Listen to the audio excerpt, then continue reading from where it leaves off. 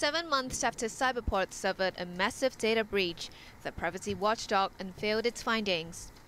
The government owned company, which manages the sprawling campus near Telegraph Bay, was subject to a ransomware attack last August.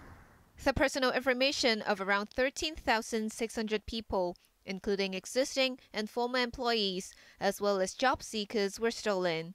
Cyberport refused to pay a ransom of around $2.3 million, and the data were eventually exposed online. The Privacy Commissioner's office pointed out that 40% of the victims could have been spared from the mishap had the company adhered to its own rules. Under its data retention policy, the personal information of job applicants who did not secure an offer should be erased after one year. Likewise, the confidential data of workers shall be destroyed once they terminate their employment with Cyberport. Privacy Commissioner Ada Chung said the oldest case dated back to 2016 when the victim applied for a job at Cyberport. But the applicant's personal data were still in the system when the incident took place last year.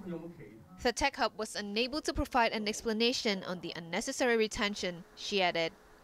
While Cyberport is supposed to be Hong Kong's digital technology pioneer, it lacked a robust cybersecurity framework to properly protect its computer systems. We take into account the fact that Cyberport is um, a company um, um, which is um, managing the um, Cyberport um, companies, and therefore we should expect a higher standard of cybersecurity and also data security being implemented um, by the company. I'd expect that um, being a company with a well-established um, um, database um, holding a substantial amount of personal data, stakeholders and also members of the public would expect Cyberport to allocate sufficient resources to ensure its data security and cybersecurity.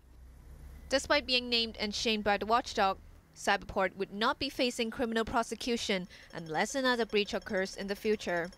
It has been ordered to implement a list of remedial measures by the end of next month. The manager of the Tech Hub said it has already stepped up work to strengthen system and data security. Janice Low, Cable News.